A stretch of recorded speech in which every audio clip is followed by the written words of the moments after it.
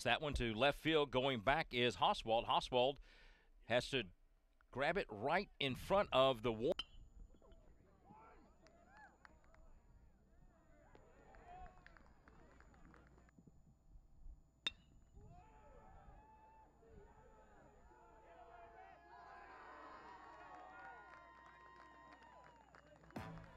And the number nine hitter. Batting from the right side. 3 1 count, and it is a hot shot right to Malden at third. He grabs it for out number Two one. away. Runners will be going. They are. That one is lined into center field. Can Odom get it? He does get it for out number three. The pitch. Harrison is going. He is in at third safely. So two. Far back with the pitch. That one is a rip into the left field, a base hit, and an RBI for O'Dwyer. Harrison scores. Second hit of the game for the Trojans from new pitcher Joe Bukema. That is a liner down, fair, down the first base line. O'Dwyer is going to score. And Malden gets to third. Anderson's going to be sliding in at second safely with a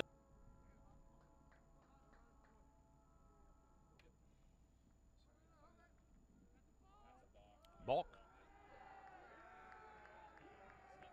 Yeah. So here in the top of the fifth.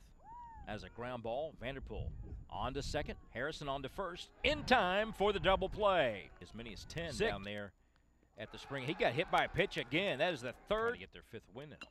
Ground ball. Bernard comes off the mound. Bear hands it on to first, in time for the out. Two away. There is a high fly ball to right center field. Odom on the run. He's going to get it in the gap for out number three. 2 2. O'Dwyer. Hot shot. It's going to be a base hit.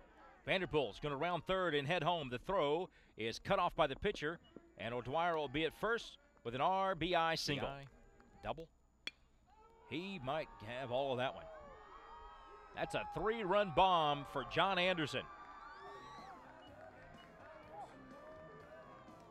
That blast was hit by number 33, John Anderson. Anderson with his first home run.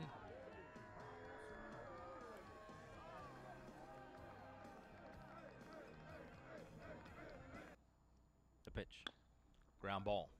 Vanderpool at short. On the way. In time for the third out. And that's the ball game. Trojans win it 9 0.